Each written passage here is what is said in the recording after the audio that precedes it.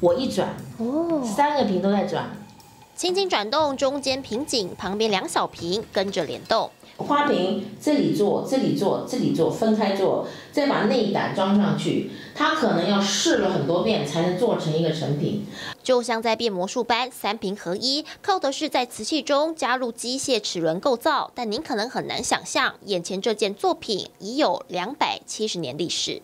香港苏富比秋拍台北预展将在下个礼拜登场了。那么您看到现在我旁边的这件作品，就是这一次最重量级的作品——三元转旋瓶，第一次在台湾亮相之外呢，在全世界也是首度曝光。预估它的拍卖价格将会达到两亿元以上的新台币。仔细从镂空处往里头看，您会发现三个瓶身中讲的就是清朝皇室最重要的活动——木兰秋显。三个瓶里面分别。有狩猎图，这里其实有一个人骑在马背在射箭。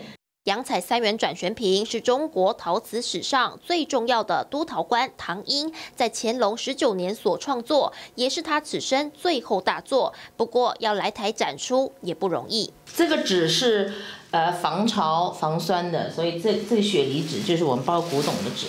锦盒层层保护以外，防弹保全车专属运送，还有人员和保全，从库房到落地台湾绝不离身。我们超过六十件吧，估价超过七十五亿台币。艺术品市场是一个很特别的，就是要收藏的人钱都在，看他有没有心情花而已。